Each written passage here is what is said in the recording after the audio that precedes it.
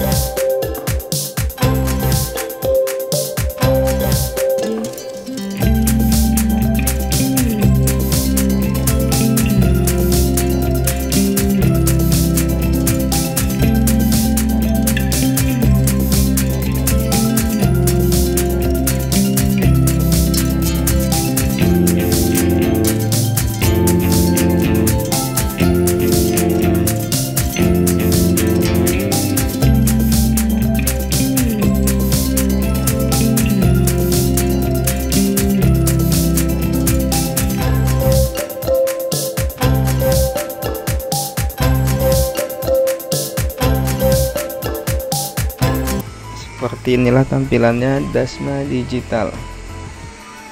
Oke kita langsung coba meng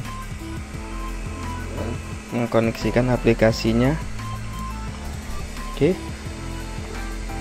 Untuk teman-teman yang belum punya aplikasinya install saja di Playstore yaitu Jasma Remote. Jasma Remote.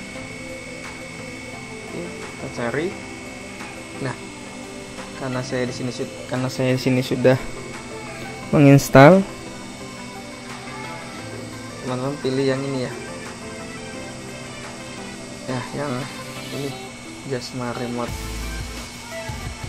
Taruh saja. Oke. Kalau sudah kalau ya kalau teman-teman sudah menginstal Jasma remote nya kita langsung koneksikan saja wifi nya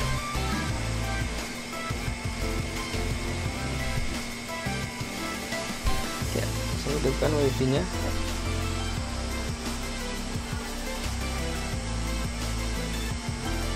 sini sudah ada. Sudah masuk ya. Ya Jasma Digital ini menggunakan nama wifi yaitu Jasma 123 Ya, di sini karena saya sering menghubungkan WiFi Dasma digitalnya, jadi otomatis sandi WiFi-nya sudah tersimpan di handphone saya.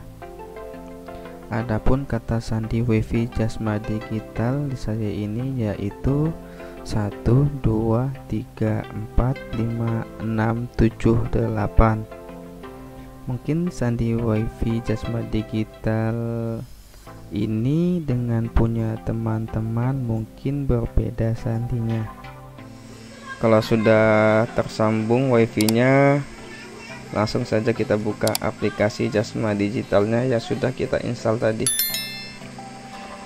Ya buka saja Jasma remote ya. Kita buka. Ya seperti ini tampilannya ya biasanya sih kalau untuk masuknya sih kita loginnya itu dengan passwordnya 16 kali. Oke saja kita tekan 16 kali.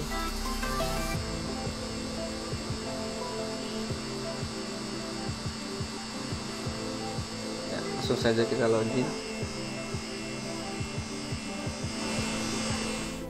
Dan ya berhasil masuk. Sekarang kita sudah masuk ke dalam aplikasi Jasma Digital.